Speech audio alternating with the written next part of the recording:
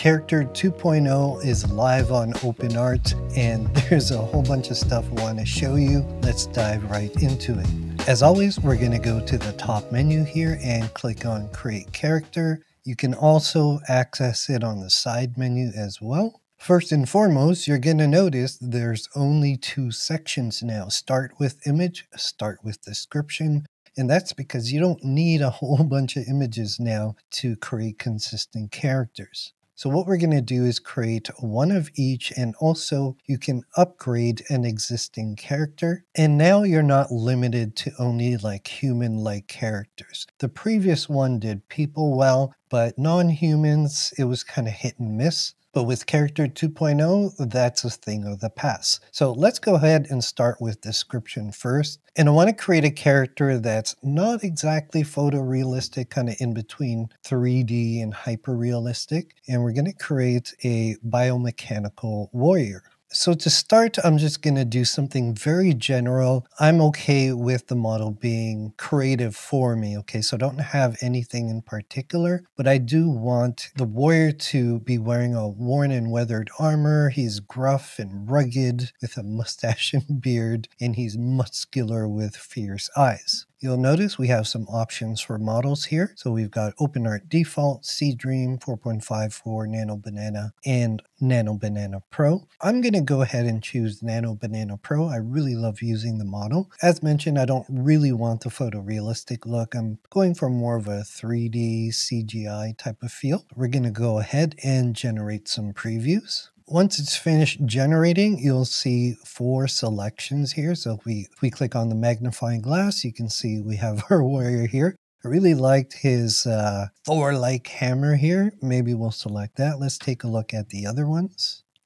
Oh, this one's cool too. I love that weapon. I don't know what that is. Looks devious. And the third option here, kind of Fortnite-ish, uh, this style and the last one here. Yeah, you know what? I'm leaning towards the first and second one, but I think I'll go with the second one here. So let's select the second one. And to build your character is way cheaper than before. It's only 100 credits. So we're going to go ahead and build that character. Now, it should only take a few minutes, I'd say about two to three minutes to complete. But now what's going to happen is that we're going to get a front view, close-up view, full body view, and back view. This will give us a preview of the character, so if we're not happy with any of the angles, we can change it.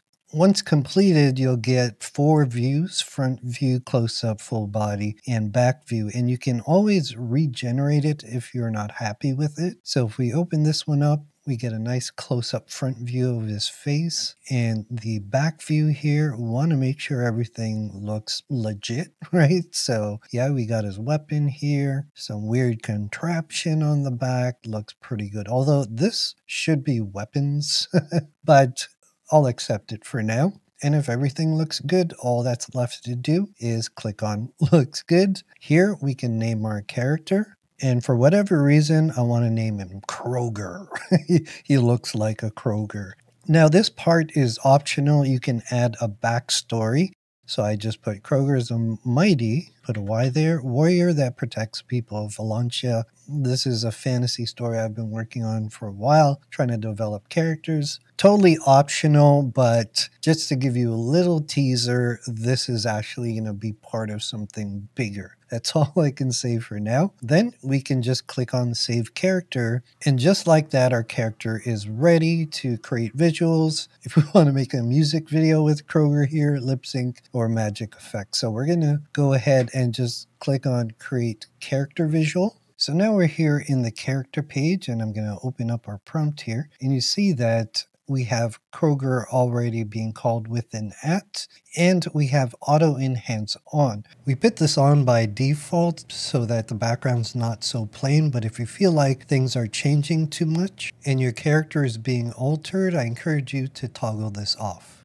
Typically, I like to do something simple just to test that the character looks good. So I'm going to put a simple prompt. Kroger is attacking with his sword on the battlefield. You can use up to five reference images, but I'm going to go into this a little bit later when we've created more characters. If you click on here, you can upload a reference image or take it from your generation history. Generation modes, fast and quality. Fast is good enough, but I always like top quality. And in terms of output size, you can select any of the common aspect ratios and you have an option of 2K and 4K resolutions. I'm just going to leave it on 2K and the model is on auto to start but you can select between either the original Nano Banana Pro or Seedream 4 or 4.5.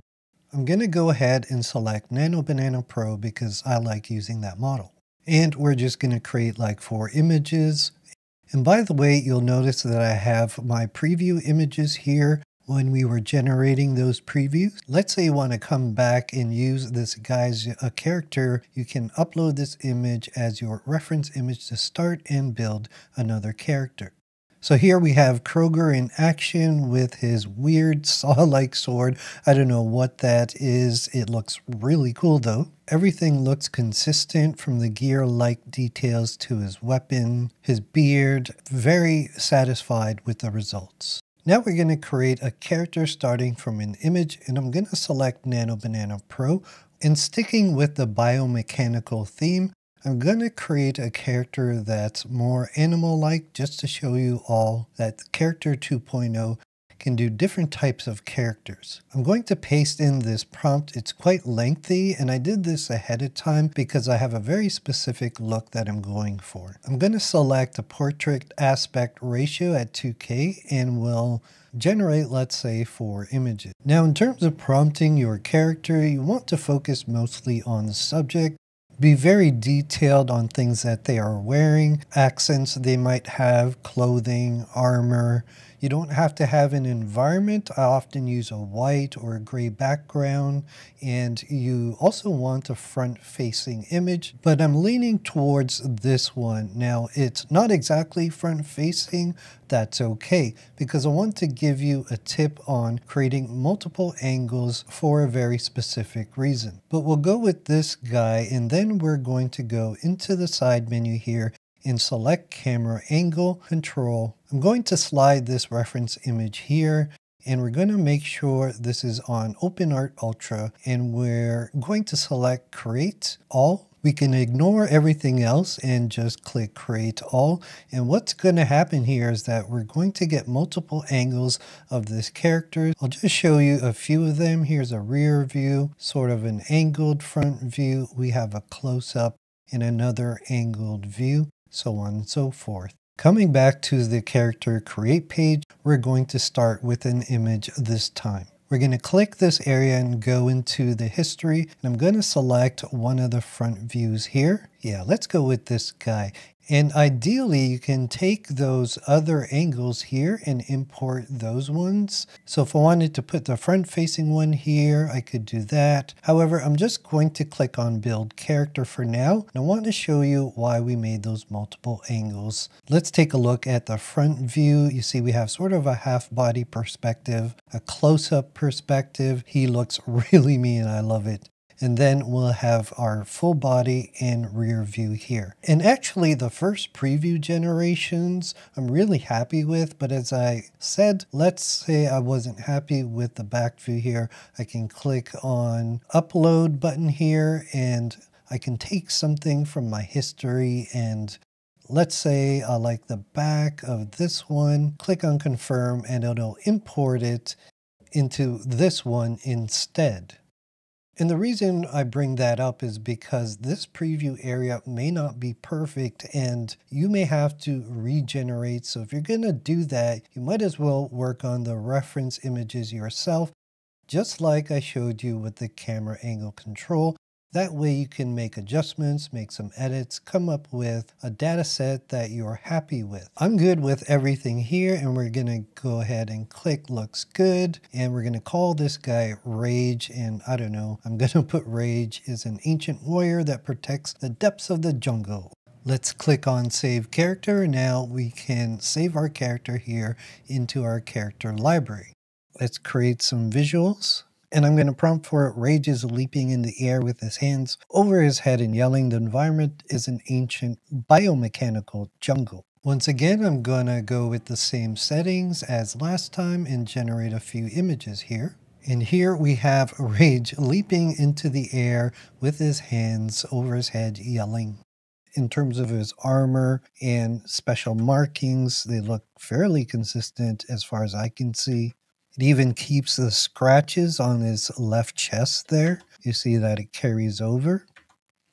Very happy with the results. Now let's talk about your legacy characters that were made with the previous character feature. So I've got a few characters here and there's a few key things I want to talk about here. The older ones you'll see has updates available. If you go to the three dots and click it, you'll see there's an upgrade path, okay? Now I will tell you because this was based off the old Flux dev model, if you upgrade to 2.0, your character may not look the same. There might be some slight changes, whether it's the details or the overall look. So if you're happy with your current character, leave it as is. I wouldn't touch it. Now, that being said, if you're curious and you want to try the upgrade just to see how it looks, and let's say you don't like the way it looks, you can go back here and under the three dots, you can roll back to the previous version. The only thing is you're going to lose the credits that you used to do the upgrade, all right? Additionally, previously you could not edit the data set of your character, but now you'll see if you go into edit, I can come back into this screen and regenerate reference images or add ones as we looked at earlier, should you decide to change things up. So I repeat, this is very important. If you have a character and you like the old version, leave it alone. Don't bother with the upgrade path. That being said, if you want to go ahead and upgrade, all you have to do is click on upgrade and you can do the same steps as we did previously if you want to add additional references. I encourage you to do that because it'll help build your character more accurately. That being said, I'm going to click on build my character and I want to see if the new character 2.0 will give me supporting reference images that are usable. This character is inspired by the Spartans and I actually named him Leonidas Here's our front image here. We can't really see his face because I do want his helmet to be on all the time. You can see his face much more better here with the close-up. Full body image here and a rear perspective image with the cape that they often wear. So yes, everything worked out great. But again, if for whatever reason these previews don't work well, use the camera angle feature. That is a great tool to have. We're going to go ahead and click on looks good and we'll keep him as Leonidas but we'll put 2.0 and I'll leave the backstory empty for now and we'll just save the character. I'm going to go ahead and create some simple images once again and I have Leonidas is attacking with his sword with two hands battling an enemy knight on the battlefield. Oh I really like this image here. Now he's only holding it with one hand but we see that very close interaction. We see his intensity in his face. Love this image. There we go. He's holding a sword with two hands here and attacking the knight. Now before we move on to some tips on how to use Character 2.0, I do want to point out that with the old Flux Dev Trainer, you did have various options to like keep the clothing the same, the weight, you had image to image, pose reference, all this stuff. I'm going to switch to my new character, Bella, and you'll see that you don't really have those options. One of the main reasons why is because the models now are very powerful. You don't need all those conditioning methods. However, as mentioned before, if we click on this area here, you do have several options. Let's start off with something simple and I'm going to prompt for Bella dancing in the street. And as a result of the prompt, I like this image. There's a couple more that I like that look pretty good. I do like her expression and the way her arms are positioned, but because this one's full body, let's go with this one. So I'm going to star this image. And one thing I do want to point out as of now, you can't drag and drop your image just yet. This is a bug that we're working on fixing, hopefully by the time I publish this video. However, we can just call upon it by going to our history as we normally do and select it, just a few extra clicks. And the first thing I want to kind of touch on here is the previous character version. If you had, let's say, a photorealistic image, but you wanted to change it to anime or use a different model, you couldn't do that. With Character 2.0, it's not a problem. So we're going to leave the original prompt in here and then prompt the style is anime. I'm going to generate four more images here, and then we're going to change the style to, let's say, Minecraft.